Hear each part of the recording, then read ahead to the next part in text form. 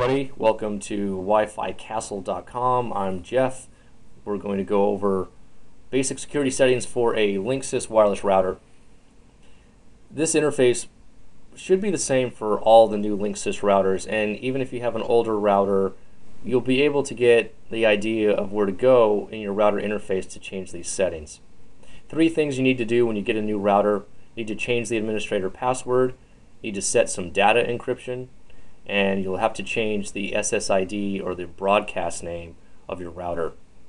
The first thing that we'll do is change the administrator password. This will stop anybody from just logging into the router since pretty much everyone knows the default passwords. So to change the administrator password, go up top here to administration. And the first screen that you'll see, modem router access, here we are. This is where you change the password. For the username, put in the username that you use to get to the interface to begin with. So I think with Linksys it's either admin or Linksys. I'll just choose admin here, but put in the username that you used here. Change the password, and then you'll have to confirm it here. Put in the same password, obviously. Make sure it's at, at least eight characters. Use capital letters, small letters, numbers. Make it you know tough to get in. So once you've done that, you hit save. Most likely the router will reboot and then you'll log into the same interface with the new password. So once you get in with the new password, most likely you're going to end up with the same screen. And now you're going to have to change the wireless security. Go to the wireless tab, click it, and that brings up the basic wireless settings. Now, Linksys can do a couple things here. You can do it manually or you can use the Wi-Fi protected setup. I'm sure you see the button on the router. If you set it up with the Wi-Fi protected setup button, the router will do all of this itself. And so in this scenario, what's happened is the router has gone ahead and set up these parameters on the lower part of the screen. Wi-Fi protected setup status is configured. The network name is 888. The security level is WPA2 mixed, and you don't have to know what that means. That just means that your data is encrypted as it's traveling through the air from your laptop or workstation to the wireless router. And then the passphrase is this. The passphrase is set by this encryption level, so you have to log in to the router. Now you only have to do that one time. Once you configure the network, you put in the passphrase, your wireless network card can go ahead and connect, and then you're good to go. If we want to do this manually, if you don't like this SSID, or if you want to change the security here, and if you definitely want to change the passphrase to something else, then you would click manual up top. So we'll click manual, and we're we're going to go on the premise that the WPA2 encryption that we just saw the screen before is still happening. So for the network name, you can change this now to whatever you want.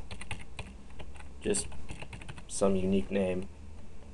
Yes, I know that's very clever. You can leave the channel bandwidth and everything else alone for now. That's more advanced settings that we'll go over in a different video. And they're leaving the SSID broadcast and enable what broadcast means is that your network can be seen by anybody who is in range. Now, can they log in or not? That's based on the passphrase. So when we hit Save Settings here, you'll have to connect to the network now with this unique name, but you'll be able to because your wireless network card will see this name because it's being broadcast. So you'll just simply click the name of the network and hit Connect, and you'll be able to connect. Now, to change the security level, once you log back into the router, it's still in the wireless tab and then wireless security. And now here's the security mode. Now they picked WPA2 mixed here because this is this will cover older network cards. If you have a newer network card and you want to change the encryption to WPA2 personal, then you can do it here. Enterprise probably won't apply to small offices or home offices uh, because to use this, you need another piece of equipment and another server to do authentication. So you really your only choices here are personal or mixed. Mixed covers more network cards, and that's really all you need to know. If you have a newer network card, this will work. And it's a higher level of encryption. So once you change this, then you pick your key, and your key should be something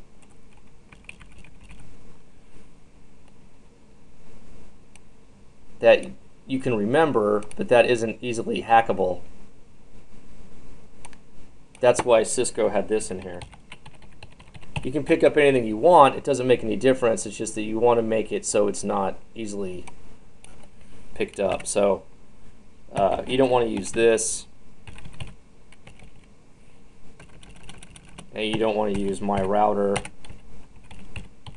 Because those are all things that hackers can guess at to try to get to your network. So choose something a little bit more